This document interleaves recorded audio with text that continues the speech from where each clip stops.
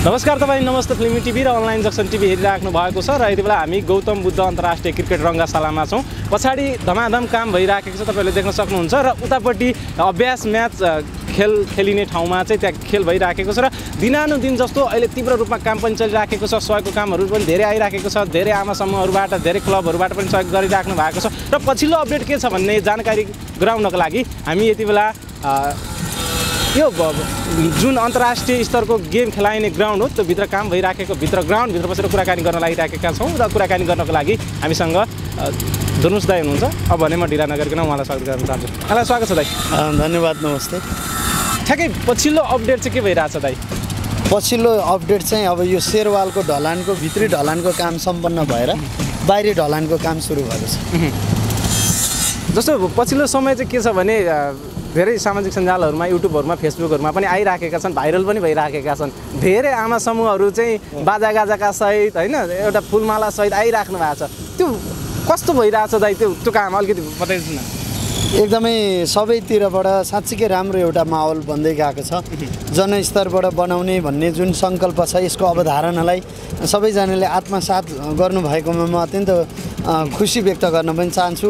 र विशेष गरी विभिन्न टोल विकास संस्था आमा समूह शिक्षण सङ्घ संस्था उद्योगी व्यवसायी सामाजिक अभियन्ता खेलकुद प्रेमी खेल खेलाडीहरू सबैको एकदम बाक्लो उपस्थिति छ। यसको अर्थ चाहिँ के भने सबैले अपनत्व ग्रहण गर्नुभएको मैले बुझेको छु। केही स्याबासी दिन आउनु भएको छ कोही आशीर्वाद दिन आउनु भएको छ कोही सघाउन आउनु भएको छ कोही चाहिँ श्रमदान गर्न कोही बुझ्नलाई पनि आउनुभएको छ। त्यही हो। दिनमा कति जति टोली आउनु भएको होला दाइ ठ्याक्कै अब यकिन गरेर त भन्न सकिँदैन होला किनभने धेरै आइराख्नु भएको छ। यतिमा चाहिँ औसतमा आइराख्नु भएको छ भने पन्ध्र बिसवटा टोली आउनुहुन्छ होला सायद। जस्तो अहिलेको चर्चित एउटा लोकदोहोरी कार्यक्रम जुन कार्यक्रममा भिडियो आइसकेपछि धेरै सहयोग पनि आउँछ। इन्द्रेडी टिम पनि यहाँ आयो। एउटा। कार्यक्रम पनि गइसक्यो र राम्रो प्रतिक्रिया छ। अहिले ट्रेन्डिङमा पनि छ युट्युबमा। कहिले आउनु भएको थियो? के थियो? अलिकति माहौल बताइदिनुहोस् न। उहाँहरू त लगभग पन्ध्र दिन अगाडि आउनुभयो अहिलेको होइन त्यो। धेरै अगाडि आउनु भएको थियो। अनि मैले सायद फर्स्ट टाइम होला त्यसरी दोहोरी पनि गएको। धेरैले माया गरिदिनु भएको रहेछ। धेरैले रुचाइदिनु भएको रहेछ। म आभारी छु। उहाँहरूले कतिवटा भिडियो छायाङ्कन गर्नुभयो त्यही मात्र थियो कि अर्को पनि एउटा भिडियो छायाङ्कन गर्नुभयो र फेरि अर्को निकट भविष्यमै अलिकति अभियानै चलाउने हिसाबमा अलिकति प्रचारै गरेर चाहिँ कृष्ण कणेल दाईले चाहिँ म फेरि आउँछु। म बाटो पर्दाखेरि चाहिँ छिरेँ। तर म पुनः तयारीका साथ आइनँ। तर अब म इन्द्रनी टिम जोडिएको छ अभियानको अभियन्ता भएको छ र म फेरि चाहिँ आउँछु भनेर भन्नुभएको छ। जस्तो उतापट्टि हामी अहिले जहाँ कुराकानी गरिरहेका छौँ योभन्दा त जस्ता भन्दा उतापट्टि चाहिँ अभ्यास म्याचको लागि खेल खेलाइने ग्राउन्ड छ त्यहाँ चाहिँ दिनौ जस्तो दिनौ जस्तो त नभनौँ पाक परेको दिनहरूमा गेम पनि भइराखेको छ। त्यो गेमबाट उठेको रकम कस्तो उठिरहेछ कतिको गेम भइराखेको छ कतिको सहयोग मिलिरहेको छ जुन अपेक्षाले जुन हामीले चाहना राखेर त्यो निर्माण गरेका थियौँ होइन अहिले अभ्यास म्याच खेल्नको लागि कस्तो भइरहेछ त्यहाँको? मिलिरहेछ एकदम राम्रो छ। अब अ, लगभग हप्तामा दुई तिनवटा म्याचहरू हुने गरेका छन्। हामीले त्यो ग्राउन्डको चाहिँ मिनिमम चार्ज चाहिँ पन्ध्र हजार भनेका छौँ।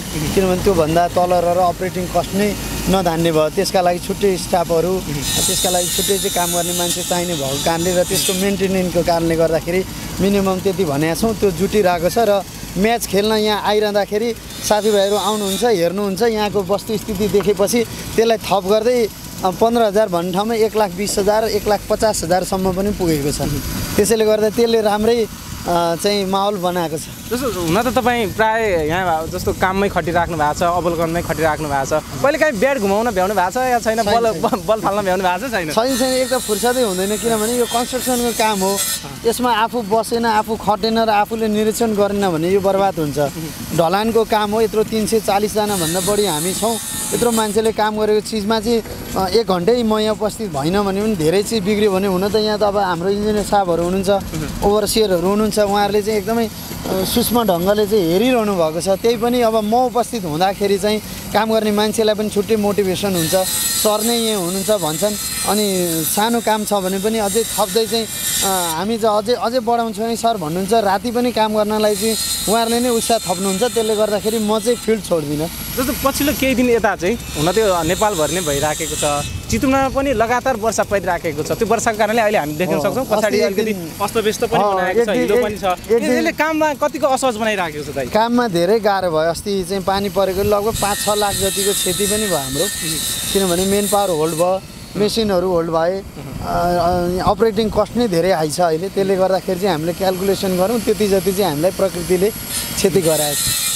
जस्तो यो हिलोहरूलाई चाहिँ अलिकति व्यवस्थापन गरेर काम गर्नको लागि के गरिँदैछ दाइ? अब यो पा फेरि पानी पऱ्यो भने त्यस्तो कुनै सम्भावना त पानी त नपरोस् हुन त यो कामलाई नरोकियोस्। तर केही कारण परिहाल्यो भने यसरी गर्न सकिन्छ भने त्यस्तो केही छ? अनि पानी नै परेको खण्डमा चाहिँ अहिले कुनै पनि प्रकारको ब्याकअप छैन। पानी पऱ्यो भने जस्तो हामीले एउटा ड्रोनबाट खिचेको एउटा भिडियो यो रङ्गाशालालाई देखाउँदाखेरि एउटा धेरै कमेन्टहरू के आछन् भने दाइ रङ्गाशाला अलिक सानो हो क्या हो ग्राउन्ड चाहिँ भन्ने कमेन्टहरू आछन् उहाँलाई के भन्न चाहनुहुन्छ? होइन होइन त्यस्तो केही पनि छैन यो।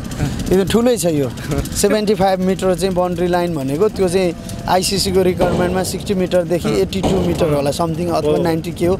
सेभेन्टी फाइभ मिटर जति जग्गा हामीलाई उपलब्ध भएको छ त्यही अन्तर्गतले हामीले संरचना बनाउने हो। त्यो ड्रोनबाट हेर्दाखेरि सानो लाग्छ तर यो विशाल छ। ग्राउन्ड अनुसार फरक पनि हुन्छ आइसिसीको नियम अनुसार पनि। कुनै छ। कुनै अलिकति ठुलो पनि हुन्छ अलिक सानो पनि हुन्छ त्यो छ। अब यो स्ट्रक्चर चाहिँ नदेखिएपछि त्यही नै होला स्ट्रक्चर जस्तो बुझाइ होला। स्ट्रक्चर त्योभन्दा बाहिरबाट उठ्ने हो। बाहिरबाट उठ्दाखेरि भित्र ग्राउन्ड एरिया पर्याप्त छ एकदमै। यहाँ भित्र आएर हेर्दाखेरि पक्कै पनि ठुलो देखिन्छ माथिबाट खिच्दाखेरि अलिकति सानो देखिन्छ हजुर, हजुर। जस्तो तपाईँको दाइ सेन्टी भाइरस चलचित्र आउँदैछ। अब पछि समय चलचित्र बनाइसकेपछि प्रमोसन गरिएन भने लगानी पनि उठ्न गाह्रो छ। तर तपाईँ यता खटिराख्नु भएको छ प्रमोसन गर्न पनि भ्याउनु भएको छैन पाउनु नै भएको छैन।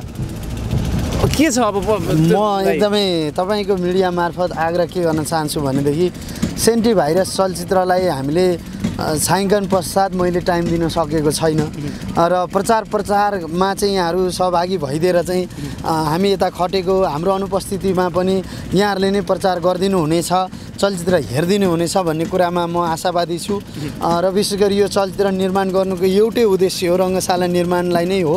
र हामी ट्रेलर सार्वजनिक भन्नु हुनुभन्दा अगाडि हामी चाहिँ एउटा राम्रो चाहिँ रकम पनि घोषणा गर्दैछौँ। चलचित्रले भोलि सफलता हासिल गरेको खण्डमा हामीले नाफा आर्जन गर्नु छैन। हामी सम्पूर्ण रकम चाहिँ रङ्गशालालाई खर्चिने गरी चाहिँ एउटा घोषणा पनि गर्दैछौँ।